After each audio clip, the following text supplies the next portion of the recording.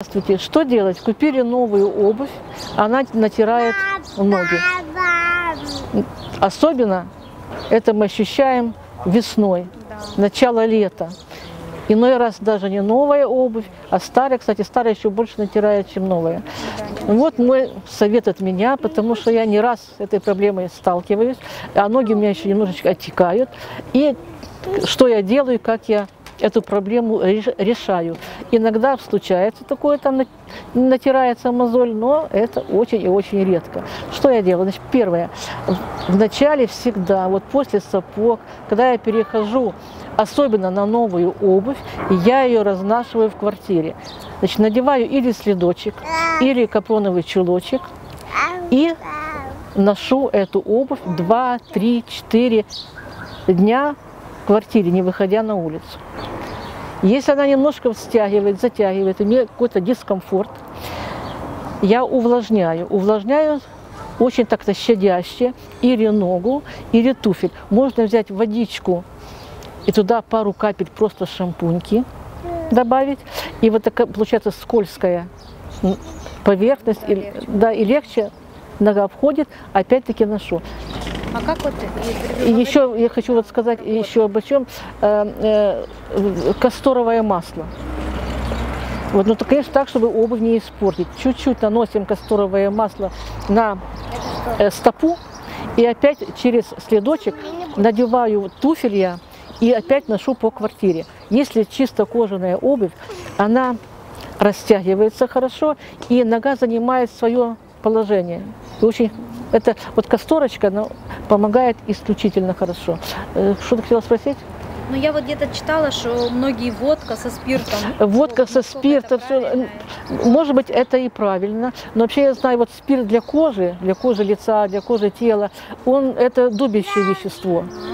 Вот. Но э, такой рецепт есть, такой совет есть. Э, водку заливают, заливают, да, спирт разводят. Но нет, а тут, во-первых, можно испортить туфель, если он хороший.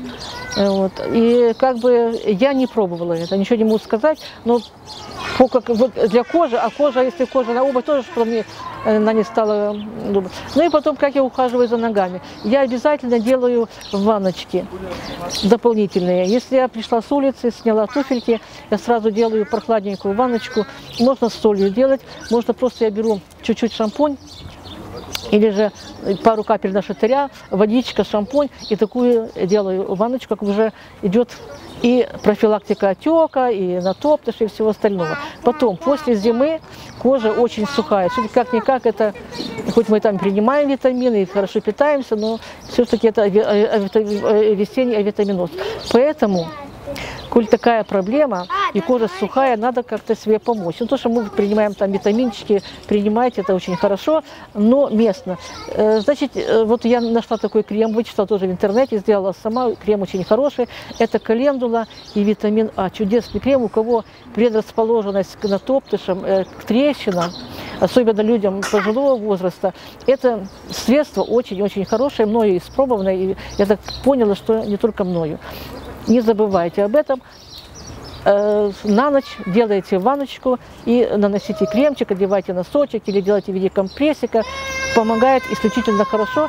И таким образом вы ногу готовите для того, чтобы не было натоптышей, потертостей и мозолей. Потому что самое жуткое – это мозоли. Ну вот я говорю, на своем опыте я испытала самое хорошее средство – это касторовое масло. Хорошо, а раз...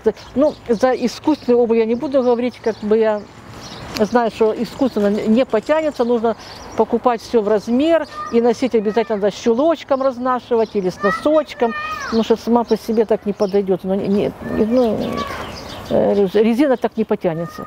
Вот. А кожаная обувь, никаких таких новых способов я больше не пробовала. Вот так вот не забыть и ну, уже в крайнем случае покупать этот, этот э, бактерицидный лейкопластырь на пяточку там или надевать.